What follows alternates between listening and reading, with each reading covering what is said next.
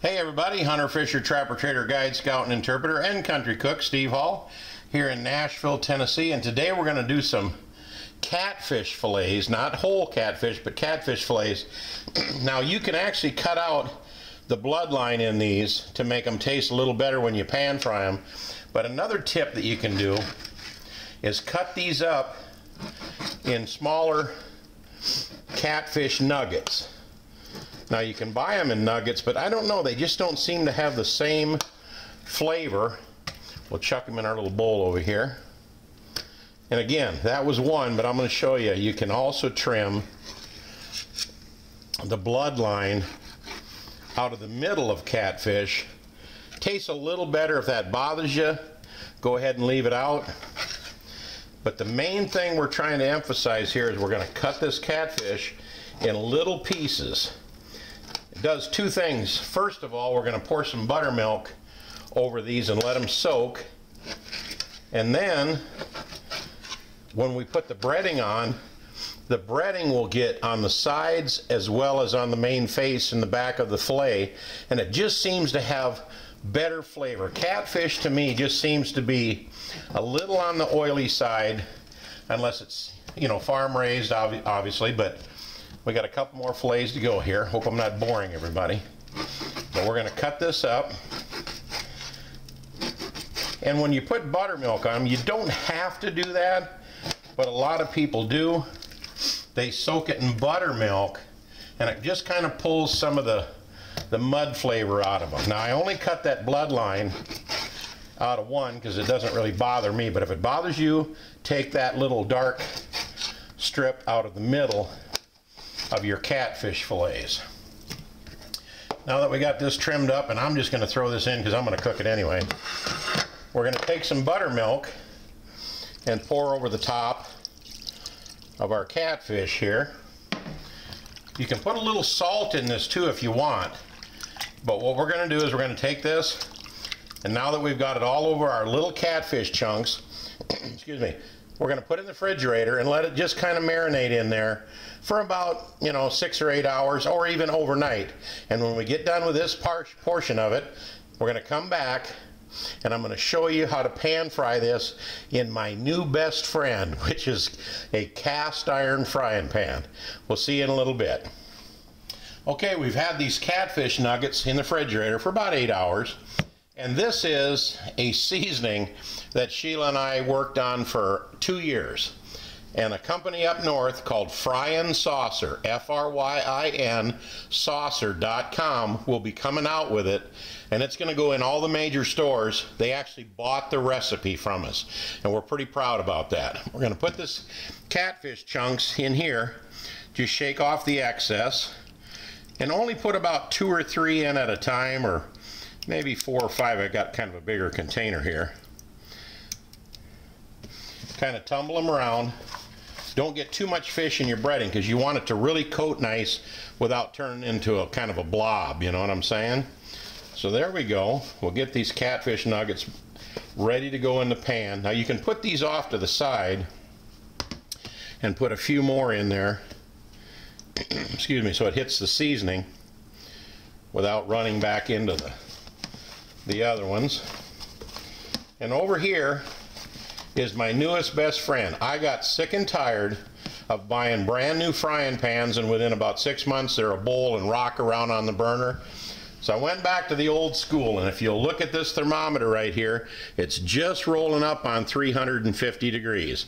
I got about an inch of oil in here and it's the old standard cast iron frying pan and I absolutely love it. Now 360 is the magic temperature that I like to go by.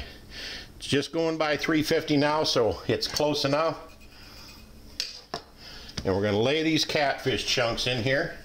Shishi, if you'll get a shot of this. And because we took these catfish fillets and cut them up in little pieces, they're going to be golden brown all the way around and they turn out to be white and fluffy. Now, I can't say they're as tasty as crappies because I'm kind of crazy about crappie and bluegill and perch and stuff like that. But if you really want to, let me get a couple more over here.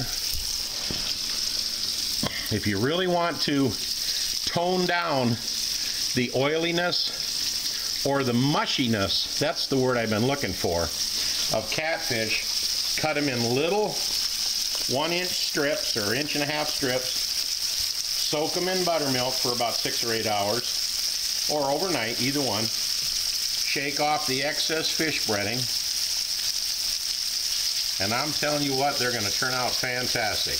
Now we'll be back in a little bit after we get these turned and golden brown and put them on some paper towels.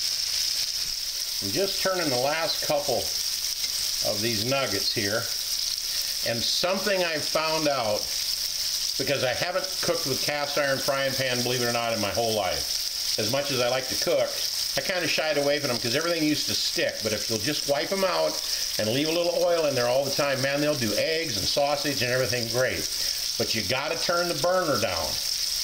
On a regular aluminum frying pan, when I cook fish, I pretty much got it wide open, so when it hits 350, I put in the fish, it kind of tones it down, and I keep on doing batches of fish. But you can't do that with this cast iron because that burner transfers heat so good that it goes right through and you'll burn up your pan.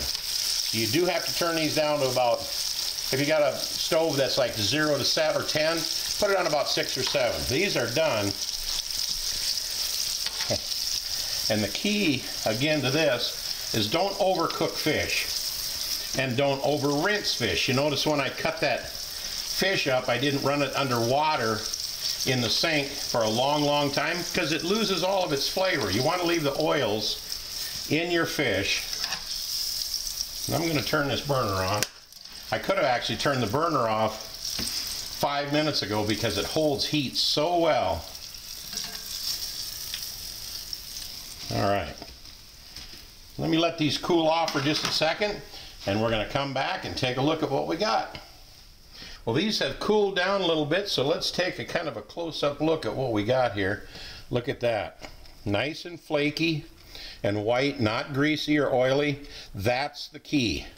Soak your catfish in buttermilk. Put it in your favorite breading. Put it in oil. I use canola oil because it doesn't transfer flavors. That's a whole nother show.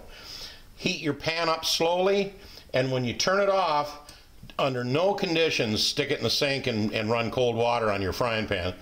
Just let it cool down until it's completely cooled down. Dispose of the grease in your grease container. Wipe it out, and you really don't have to wash these. Now, this is a Lodge brand cast iron frying pan, and they've got all the instructions on their site when you buy it or when you get one in a box. They used to, in the old days, sell you cast iron frying pans and you had to season them yourself. Rub them down with oil, put them in the oven, bake them. Now they come pre-seasoned where they do it at the factory. They dip it in oil and bake it, dip in the oil and bake it. So every time you cook with it, it gets better and better and better. But let it cool down until it's completely cold. Just wipe it out. Don't use harsh detergents and stuff to scrub it or you're going to have to season it again. And grandma's probably got a frying pan over there she's cooked a thousand meals in, or maybe 2,000. But look at this catfish. The finished product is absolutely white and flaky, not mushy. That's what Sheila and I are having for dinner tonight. Now, while we were switching that, we do have one more little batch over here with some more. And uh, look at that. Golly, that turns out nice. Just so flaky that uh, I can't stand it. We got a homemade tartar sauce recipe. If you go to our whole catfish uh, video on our on our channel, you'll see that too.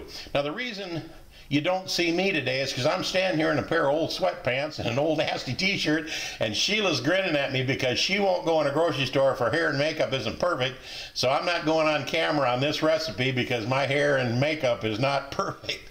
So but anyway, I'm still looking good here with this great recipe. Give it a try. Pick up some catfish fillets, cube them up in those little strips, soak them in buttermilk overnight or six or eight hours.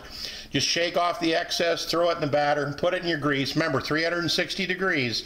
When it hits 360, on your little meat thermometer here. It's not a meat thermometer, it's actually an oil thermometer. The meat thermometers only go to about 180 some degrees. So you want to make sure you get one at Bed Bath & Beyond or something that goes to 400.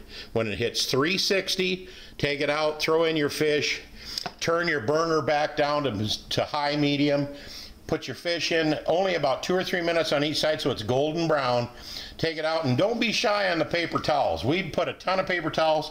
That also pulls some of the oil and grease away.